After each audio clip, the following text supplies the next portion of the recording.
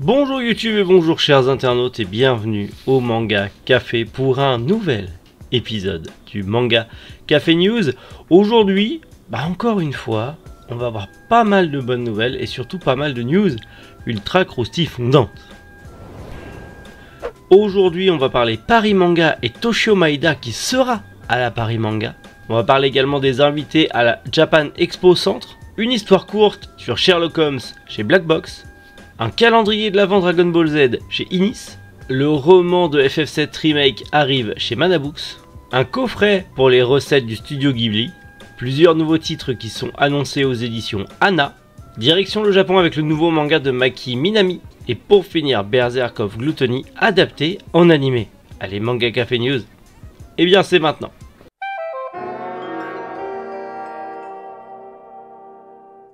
Amoureux de tentacules et de hentai, bonne nouvelle, Toshio Maeda est invité à la Paris Manga. Il sera donc du coup en dédicace pour le 32e édition de la Paris Manga.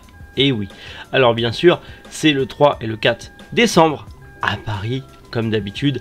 J'espère que vous avez réservé vos places. J'espère que vous connaissez Toshio Maeda. Hein. Si vous connaissez, c'est un petit peu le maître du manga érotique des années 80. c'est notamment lui qui a lancé la popularité des tentacules dans le genre hentai. Donc euh, voilà. En tout cas, bon, c'est plutôt cool. Je cherche mes scènes à chaque fois. Vivement que j'aille un stream deck. C'est plutôt cool.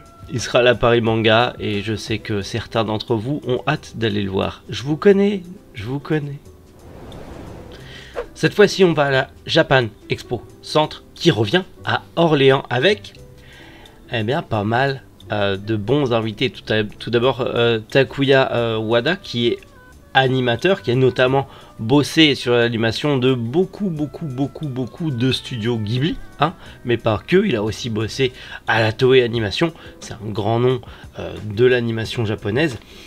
Aussi, il y aura des auteurs de manga français, notamment les auteurs d'Onaira, de Vanupiet, de Tintenrod et Louin Fight, ou encore de, euh, des enfants de Gore de chez Mao Édition. Ils seront présents en dédicace.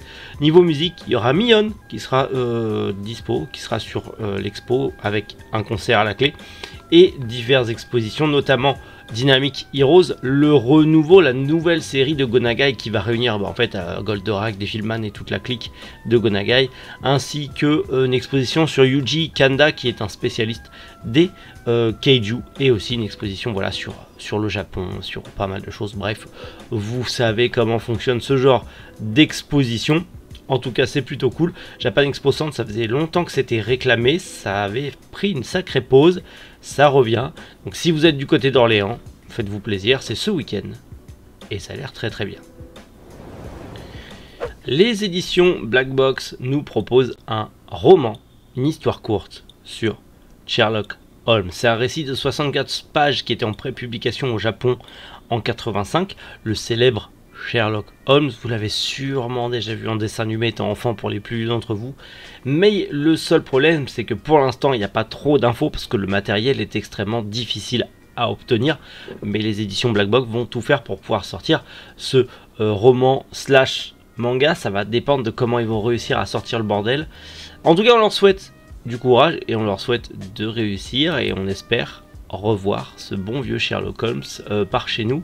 Parce que mine de rien, Ouais, c'est purement la nostalgie, mais les animés avec des trucs anthropomorphisés comme ça, c'était tellement incroyable quand on était gamin. Moi j'adorais personnellement, je ne sais pas pour vous, mais j'adorais quand j'étais gamin. Un autre truc que j'adorais quand j'étais gamin, Dragon Ball Z. Oui, et du coup il y aura un calendrier de l'avant aux éditions Inis. Alors, attention, c'est pas un calendrier de l'avant avec des figurines ou quoi que ce soit il y aura voilà des cartes, des magnettes, des stickers, des crayons, des petites babioles. Mais, mais, c'est un calendrier de l'avant Dragon Ball Z. Alors, je vous dis le prix, c'est 30 balles pour le calendrier de l'avant Dragon Ball Z. En sachant que c'est pas un truc ultra, voilà, hein, c'est des renders sur, euh, sur un fond rouge. Ok, mais c'est Dragon Ball Z. C'est dispo le 10 novembre chez Inis. Et vous le savez. Vous le savez, bien sûr. Dragon Ball, c'est la vie Ouais. Et vous connaissez un autre truc que j'adorais quand j'étais gosse? Final Fantasy VII. Incroyable Mais là, on va parler de FF7 Remake, et notamment du roman euh, Trace of Two Past. Eh, mon anglais s'améliore, hein. Euh, et pourtant j'utilise pas Rosetta Stone. Mais en tout cas, le roman arrivera le 3 novembre chez Manabook au prix de 17 euros, et pour faire simple, on va se plonger dans le passé de Tifa et Eris. Leur passé. Alors, oui, dans le jeu, on le sait. Il faut savoir que celui qui est derrière le roman, donc euh, Kazuchige Nojima, est aussi derrière pas mal de Final Fantasy, mais aussi derrière Final Fantasy VII Remake. Il a bossé euh, dessus, notamment il a scénarisé pas mal de FF. En tout cas, c'est un grand nom. Donc, ce truc est sûrement, en tout cas ce roman est sûrement canon, au moins à FF7 Remake, potentiellement à FF7, je ne sais pas. Mais si vous êtes fan, bon, j'ai envie de vous dire, c'est le petit bonus à pas louper. On retourne chez les éditions Inis avec le coffret du livre Les recettes des films du studio Ghibli. Vous savez, le, bouquin de recettes est déjà sorti.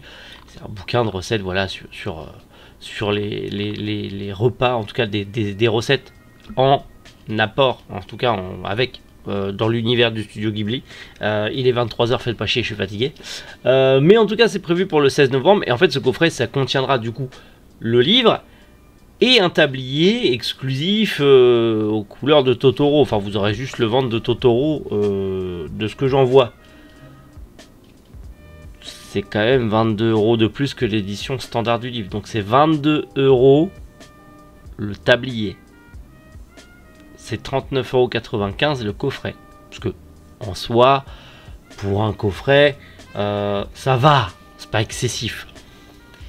Par contre, 22 euros pour le tablier, faire un joli cadeau. Je pense notamment à ma femme. Ça il fera un joli cadeau. Mais 22 euros le tablier. Euh, si c'est une merde chinoise contrefaite.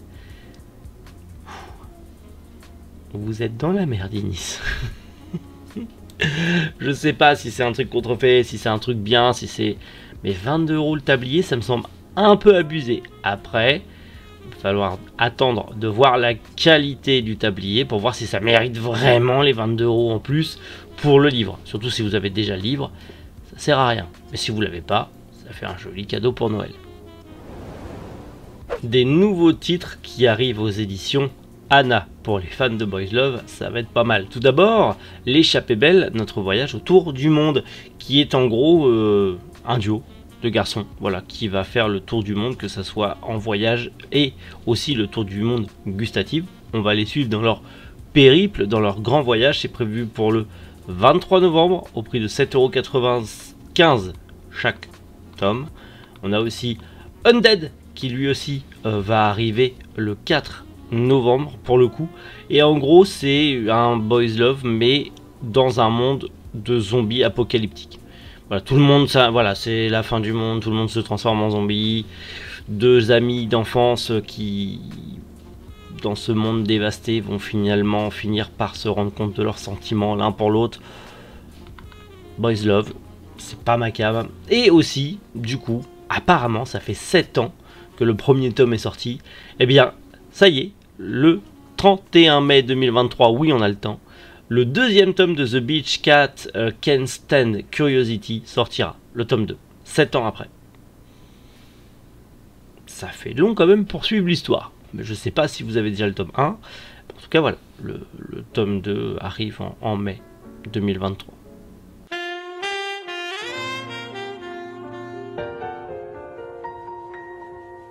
Un nouveau manga pour Maki Minami. Alors Maki Minami, vous la connaissez peut-être pour deux mangas édités chez Tonkam, Spécial A et Seiyuka, ça date un peu.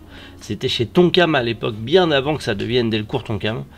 Mais là, elle revient au Japon avec un nouveau manga en prépublication dans le Mélodie d'Akushensha. Il s'agit de Itsuruba Ana, où en gros on va suivre bah, en fait cette jeune fille qui décide de devenir actrice après avoir connu un terrible drame. Ça serait une tranche de vie dramatique. Bon, comme d'hab, c'est un nouveau manga en prépublication japonaise. Le jour où on a des infos pour la France, comptez sur moi pour vous en reparler.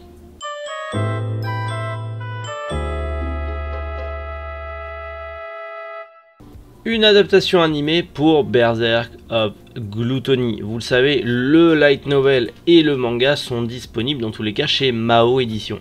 Mais le light novel, alors du coup ça suivrait plus le light novel que le manga, même si le manga est adapté du light novel, on aurait une adaptation animée. Sans plus d'infos. Pour l'instant, l'auteur du light novel, donc Fame, nous a fait une petite illustration pour dire Youhou, ça va être adapté en animé. C'est tout. On n'a pas plus d'infos pour le moment. Mais, comme d'hab, je vous en reparle prochainement quand on aura des infos officielles et potentiellement, bah, allez savoir, peut-être un trailer. Bon bah voilà, petit manga café news. Alors c'est vrai que les news sont peut-être pas forcément, enfin en tout cas je sais que ça va pas parler à tout le monde. Et je me doute que potentiellement ce manga café news sera pas celui qui fera les plus de vues de la semaine. Mais malgré tout, on est là on est fidèle au poste, même s'il est 23h passé et que j'ai passé ma soirée d'Halloween euh, à faire le con dans un Royal Kids avec mes enfants et donc que j'ai mal partout et que je suis fatigué, je vous fais quand même ce manga Café News pour vous, parce que c'est le partage de la passion, parce que c'est important et parce que ça me fait plaisir. Donc je vous donne rendez-vous demain, 7h du matin, avec plus d'énergie, je l'espère, c'était Émeric. Boujou, les internautes.